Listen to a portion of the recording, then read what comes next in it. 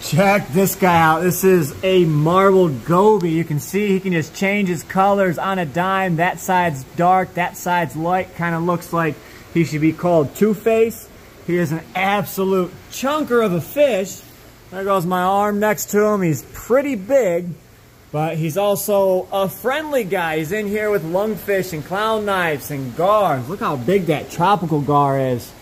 Freaking amazing, right? And this is a 750 gallon tank, 8 by 5 by 30.